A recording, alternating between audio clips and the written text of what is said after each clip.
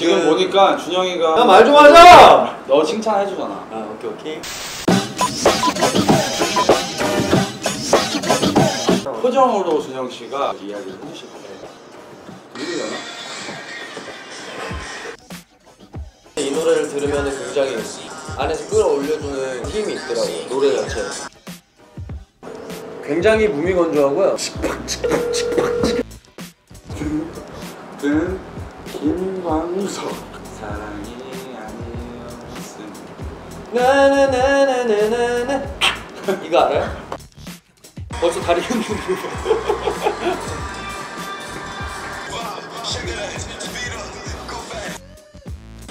가사가 굉장히 로맨틱하고 우리 같이 가까운데 별 보러 가자 아무 걱정 말아요 네, 네 걱정 마세요. 안녕